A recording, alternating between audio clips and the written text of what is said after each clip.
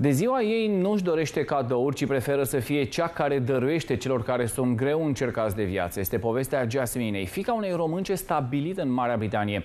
În ziua în care a împlinit 13 ani, a donat 45 de centimetri din podoaba ei capilară și a lansat o campanie de strângere de fonduri. Vrea să cumpere laptopuri copiilor orfani din România. Când avea doar 9 ani, Jasmine a aflat că din părul ei pot fi confecționate peruci pentru copii bolnavi de cancer, un accesoriu care atenuează din impactul psihologic sever al chimioterapiei, așa că a decis să se tundă și să doneze șuvițele.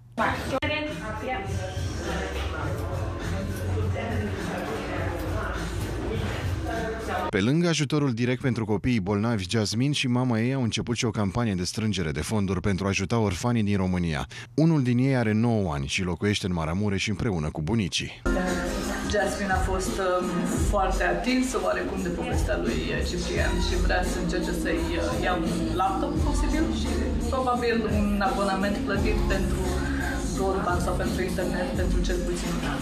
Dacă vor mai rămâne ceva bănuți, bineînțeles că vom încerca să ajutăm și pe Alexandru, cel de-al de la copil. Oricine dorește să doneze pentru acești copii, o poate face pe www.justgiving.com, accesând donațiile Andreea Salvage. Donați și voi, vă rog, fără item ce Noi facem ce putem să ajutăm. Tu poți să donezi puțin. Vă așteptăm și voi să donați cât de puțin puteți. Puținul vostru poate ajuta Pic cu pic se face mare, spune Jasmine. Își dorește ca pe viitor inițiativa ei să ia amploare și cât mai mulți copii să fie ajutați.